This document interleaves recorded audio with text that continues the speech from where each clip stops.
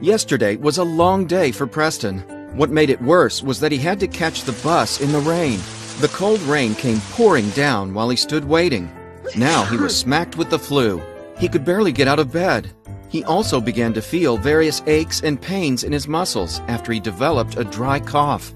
Needless to say, he wanted this bizarre nightmare to be over. Preston's coworker was concerned. She asked him to try this out. Preston kept an open mind. He followed the instructions and invested in a little time. After three sessions, he is relieved. He's able to have a more deeper and restful sleep. Such powerful result, he's convinced. Preston raves about this product to his friends and family.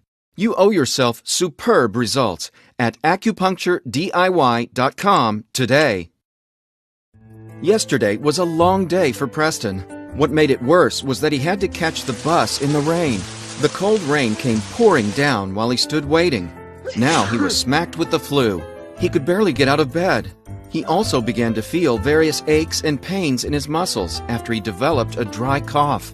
Needless to say, he wanted this bizarre nightmare to be over. Preston's coworker was concerned. She asked him to try this out. Preston kept an open mind. He followed the instructions and invested in a little time. After three sessions, he is relieved. He's able to have a more deeper and restful sleep. Such powerful result, he's convinced. Preston raves about this product to his friends and family. You owe yourself superb results at acupuncturediy.com today.